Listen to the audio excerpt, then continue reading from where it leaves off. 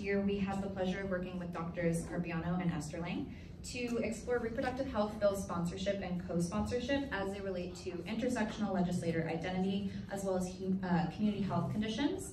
And we're very excited to share what we learned with you today. So jumping into it, uh, there are two overlapping issues at play here. The first is that women are underrepresented in state legislatures, um, and this has been proven uh, time and time again by empirical evidence in previous literature. So uh, in fact, under the current systems, it's gonna take us 145 years to close the gender uh, gap in politics. And this is not including the uh, intersectionality of race and gender, right? So if you look at the graph here, this is from the global, uh, I'm sorry, the 2020 Global Gender Gap Report, which is run by the World Economic Forum, and it ranks uh, glo uh, global gender uh, equality progress. In the report, the US is the 53rd out of 153 countries. Um,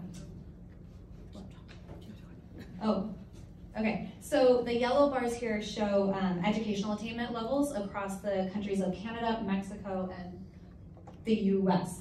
Um, so uh, they're generally equal, right? However, the US has significant disparities in the areas of political gender equality, and that's seen in the brown bars in just a second. Um, and this measurement alone is bringing down our ranking overall. So we know that this is a problem for policy because uh, their gender and race make women of color uh, approach policy through a unique lens that other legislators do not. And again, this is backed by empirical evidence from previous literature. The second issue we're exploring is that abortion bans harm community health conditions, particularly among populations of women of color. So we see this in the states that have limited abortion access since overturning Roe. Among these states, there has been a 34% increase in maternal mortality rates. You can see this in the graph. While these rates have been increasing steadily over the past few years, there has been a significant jump since Dobbs was enacted. Moreover, these rates among women of color are the worst. Typically, these populations face the most significant healthcare disparities.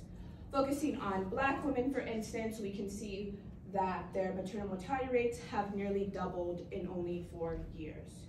If we look at other indicators of community health, like infant mortality rates, we can predict that these rates would nearly be 15% lower if there were as many women in Congress as there are men. Again, this is not to mention the intersectionality of race and gender. Um, moving on to our research question. Um, so we ask, are women of color legislators more likely to support reproductive health policies?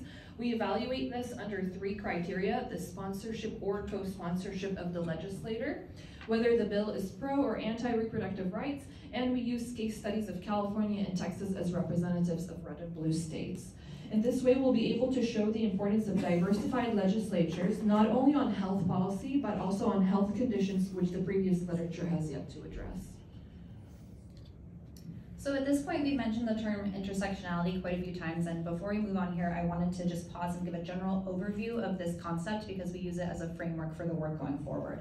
So in general, the term intersectionality describes the multiple life experiences and potential discrimination that one faces when uh, inhabiting one category, or more than one category that society deems as less than. So here, women of color would be an intersection between gender and race, where that little blue arrow is, um, because they might be oppressed by not only their status as a woman, but also their status as a minority. Um, this is absolutely a simplification of the concept, um, but for the sake of our research, this is what we chose to focus on as far as race and gender intersections.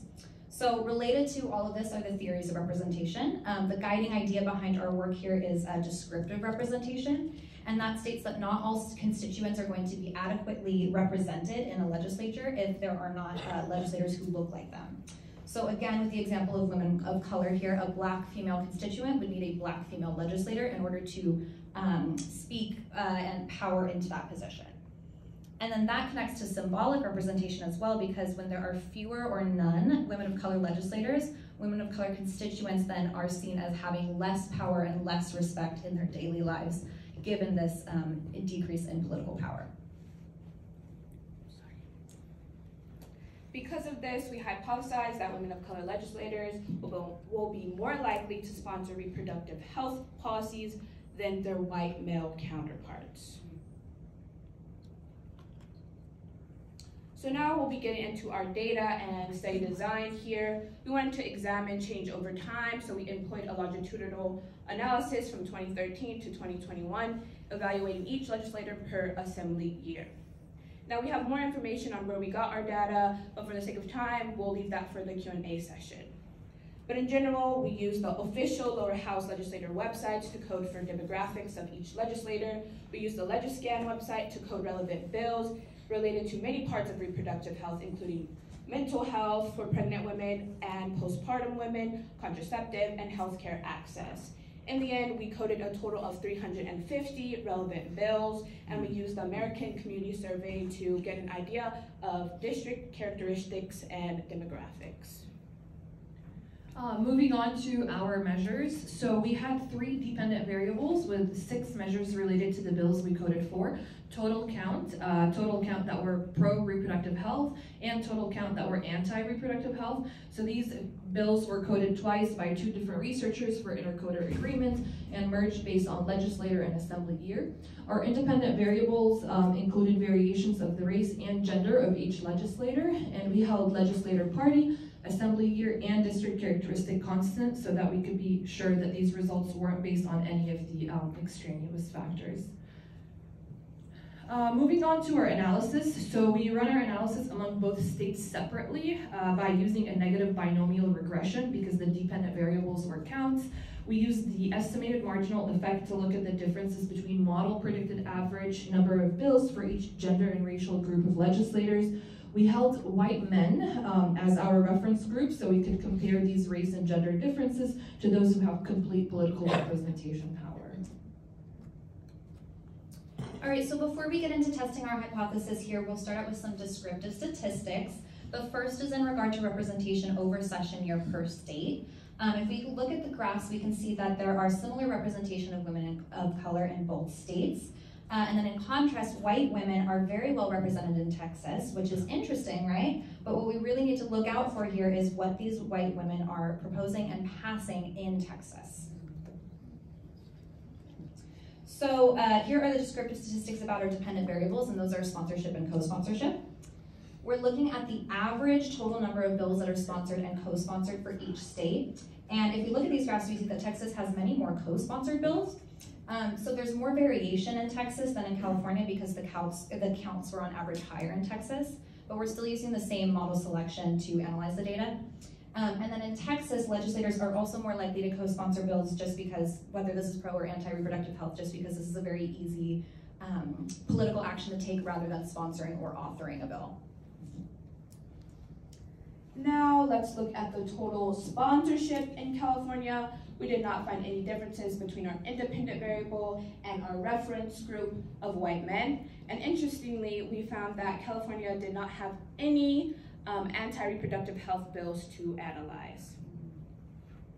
Next, we're going to take a look at Texas sponsorship. So here we see that while women of color did not different, differ from our white male um, reference group, white women were more likely to sponsor both pro and anti bills. Uh, moving on to our findings for bill co-sponsorship in Texas, uh, I mean in California. So in California, we found that all women, whether people of color or white, um, are more likely to co-sponsor reproductive health bills than a reference group, which is white men. Um, so this is more of a gender effect for co-sponsoring bills than it is for a racial effect. And for our findings for bill co-sponsorship for Texas, we found that um, white women are more likely to co-sponsor anti-reproductive health bills. Uh, there's another interesting finding um, here that men of color are less likely to co-sponsor anti-bills. So this was unexpected but also tangential to our overall research question. However, if we want to focus on our research question, we did not find any differences between women of color co-sponsorship and our reference group white men. So in connecting these findings to our original hypothesis, we see that in general, there aren't results that we expected, but in California, there is a gendered effect for who is more, like, more likely to co-sponsor pro-reproductive health bills, which means that women overall, regardless of race, are more likely to sign on bills that promote reproductive health. Based on these results, we can argue that women of color co-sponsor pro bills more often than sponsoring them because of unbalanced political power. So in accordance with the concept of intersectionality that we've discussed, white men are most powerful political players here, so they're more likely to be able to pass bills, whether those are pro or anti, through their sponsorship. Moreover, we found that white women also have more power than women of color since they do not face racial discrimination. So that's partially why women of color are still only co-sponsoring bills. So given all of this, for our policy recommendations, we suggest barriers of entry for women in the political space that should be reduced because of the gendered effects, um, which seems stronger in passing pro-reproductive health bills. But additionally, to increase women of color political power, we also recommend assigning these individuals to relevant committees and leadership positions once they're in the legislature. Um, which can hopefully in turn begin to shift the historical and institutional power disparities from inside out. Uh, these also follow the evaluation of criteria of equity and political feasibility between both states. All right, so we want to acknowledge that these specific results are not going to be generalizable to any other issue area besides reproductive health or other states that might be less blue or red, right? Um, but going forward, we uh, hope to be able to explore the effect of district on legislature behavior even more. Um, so this would include looking into the particular, how particular districts fare uh, on community health conditions pre and post Dobbs decision um, which was the one that overturned the right to abortion. And then additionally, we would like to see how the Supreme Court decision affects other issues that are of importance to social equity and health outcomes uh, more holistically.